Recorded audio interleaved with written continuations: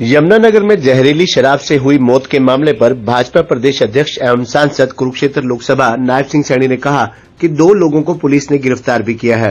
ये बड़ा ही दुर्भाग्यपूर्ण मामला है और जो भी लोग दोषी होंगे, उनके ऊपर कार्रवाई की जाएगी।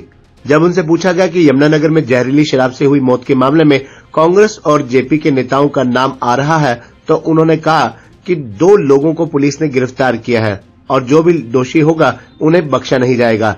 ऐसे लोगों को किसी भी कीमत पर बख्शा नहीं जाएगा, जिससे मानवता का नुकसान हो। वहीं पराली जलाने के मुद्दे पर भाजपा प्रदेश अध्यक्ष नायब सिंह सैनी ने कहा कि सबको पता है कि जहरीली पराली का धुआँ पंजाब से आता है। उसके बावजूद भी पंजाब के लोगों ने केजरीवाल को वोट दिया। आज केजरीवाल की पार्टी और केजरीवाल खुद इस व्यवस्था को संभालने में नाकाम है, क्योंकि पंजाब से लगातार प्रणाली का प्रदूषण बढ़ता ही जा रहा है। आज पंजाब के अंदर न पराली जलाने के लिए कोई सुविधा नहीं दे रही है, जबकि इसके विपरीत हरियाणा प्रदेश में पराली प्रबंधन बड़े पैमाने पर किया जा रहा है। और अब की बार हरियाणा प्रदेश में बहुत कम मात्रा में किसानों ने पराली जलाई है। उन्होंने कहा कि दिल्ली के मुख्यमंत्री अरविंद केजरीवाल झूठ की राजनीति करते हैं और लोगों को लगातार गुमराह कर रहे हैं, जबकि केजरीवाल ने कुछ भी ऐसा नहीं किया है। केजरीवाल को आज पंजाब की जनता ने देख लिया है, पंजाब के लोगों को वे गुमराह कर रहे हैं। नायब सिंह सैनी का कुरुक्षेत्र वाल्मीकि धर्मशाला में सम्मान समारोह आयोजित किया गया था जिसमें प्रदेश भर से वाल्मीकि समाज के लोगों ने नायब सिंह सैनी का सम्मान किया। देखिए वाल्मीकि समाज क्योंकि जहाँ जहाँ भी मैं जा रहा हूँ आगे बढ़ करके अपने बेटे भाई को गुरदीप आशीर्वाद देने के लिए बड़ी संख्या के अंदर आ रहा है। और आज यहाँ मेरे कुरुक्षेत्र के अंदर वाल्मीकि समाज के सभी मौजूद लोगों ने स्वागत का कार्यक्रम रखा। मैं सभी को प्रणाम करता हूँ और उनको दिल से धन्यवाद करता हूँ। आज धनतेरस का महापर्व है दीपावली का भी महापर्व है और आने वाले ये दिन हैं जो ये पर्वों के दिन हैं।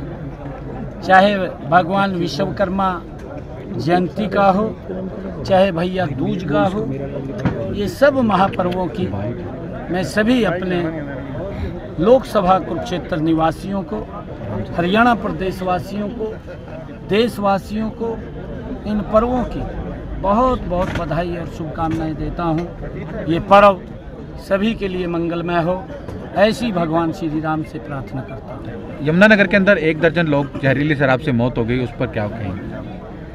देखिए ये विषय कल ध्यान के अंदर आया था और दुर्भाग्यपूर्ण है। उसकी जाँच भी हो रही है। जो भी उसके अंदर दोषी होगा उसके खिलाफ कार्रवाई होगी। दो लोग उसके अंदर अरेस्ट भी कर लिए। सर कांग्रेस के नेता का नाम उसमें आ रहा है। कांग्रेस के नेता जेजेपी नेता का नाम आ रहा है शराब मकान में बनाने वाला मैंने कहा है क्योंकि कुछ लोग उसके अंदर दो लोग अरेस्ट हुए हैं। जो भी उसके अंदर दोषी होंगे वो बख्शेंगे नहीं उनके खिलाफ कार्रवाई होगी। मनोहर लाल जी की सरकार है और ऐसे लोगों को बख्शने का कोई सवाल नहीं जिससे मानवता को नुकसान हो। पराली के मुद्दे पर पंजाब ज़्यादा पराली जला बदनामी दोनों राज्यों की हो रही है हरियाणा पंजाब की सुप्रीम कोर्ट में खिंचाई किया दोनों नहीं देखिए हरियाणा प्रदेश के हमारे मुख्यमंत्री मनोहर लाल जी ने पराली प्रबंधन के लिए ज़बरदस्त काम किया है। अलग से किसानों को सब्सिडी भी दी जा रही है चाहे रिपर की है चाहे वो बेलर की है चाहे वो ट्रैक्टर की है। ट्रैक्टर के ऊपर भी सब्सिडी दे करके किसानों तक पहुँचाने का काम किया जा रहा है और उससे अलग भी अगर हमारा किसान वो पराली ना जलाए, क्योंकि पराली जलाने से उसकी स्वयं की इनकम भी कम हो जाती है, उसकी पैदावार कम हो जाती है और आम लोगों को भी उसका नुकसान होता है वायु पोल्यूशन के कारण से। और मनोहर लाल जी ने इसके ऊपर ज़बरदस्त काम किया है।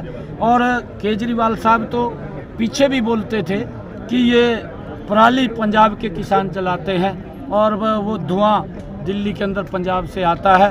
उसके बावजूद भी वहाँ के किसानों ने केजरीवाल साहब को वोट दिया, परंतु केजरीवाल साहब उस व्यवस्था को ठीक करने में नाकाम रहे।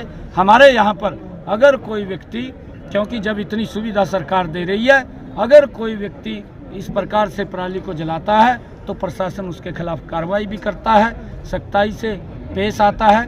ताकि वो पराली न जलाए। परंतु केजरीवाल साहब ने पंजाब के अंदर किसानों को कोई भी इस प्रकार की सहायता नहीं दी, जिससे कि वो अपनी पराली ना जलाएँ खेतों के अंदर, और वो उसने करना चाहिए, क्योंकि केजरीवाल साहब झूठ की राजनीति करते हैं, लोगों को गुमराह करके वोट लेने का काम करते हैं। आज उनके सामने है। आज इधर उधर के आरोप तो वो लगाता है, परंतु काम करने में और उसको इम्प्लीमेंट करने में वो बड़ा अंतर है। वो बोल तो देता है मंच के ऊपर खड़ा होकर के, मैं ये करूँगा, मैं वो करूँगा। परंतु किया कुछ नहीं है। अगर कुछ किएगा तो पता चलेगा। खाली लोगों को गुमराह कर